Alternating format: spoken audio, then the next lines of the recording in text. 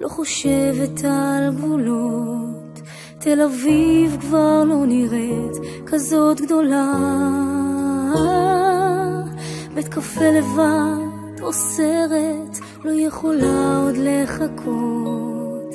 לא חשוב לאן נלך, כל עוד זה לצדך. רוצה לראות הכל, לגלות גם את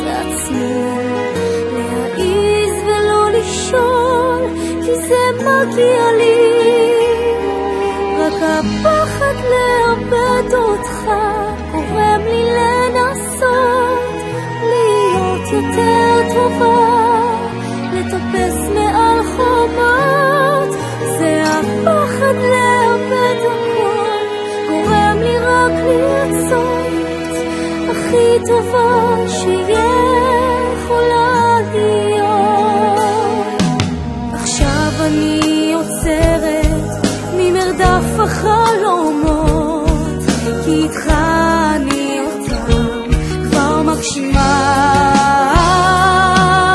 היום כבר לא כי למדתי להרפות, לפתוח את השדרך